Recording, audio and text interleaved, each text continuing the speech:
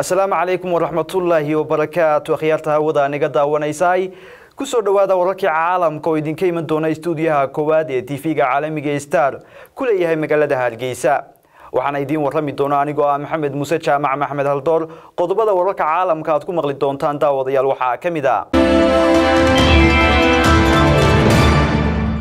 xisbiga mucaaridka ee ucid ayaa waxa uu hadhi masharifeed u sameeyey garabka toosinta iyo cadaaladda ee xisbiga wadani shirkadda somgas ayaa waxa ay markii ugu horeysay keentay geeska africa markab sida saliidda cuntada lagu karsado kaasi oo soo gaadhay magaalada berbera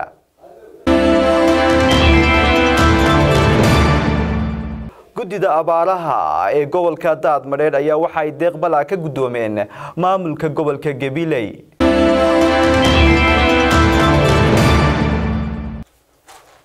magaalada muqdisho ee caasimadda soomaaliyana waxaa ka furmay doorashada xildhibaanada ka soo jeeda somalilan. Dowladda sacuudiga ayaa waxa ay noqotay dalkii ugu dambeeyey ee saldhig maritri ku yeelan doona dalka jabuuti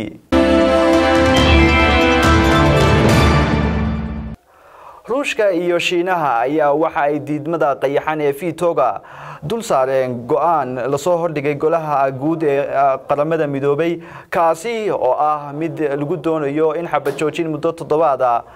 laga hirgeliyo magaalada xalab ee dalka suuriya.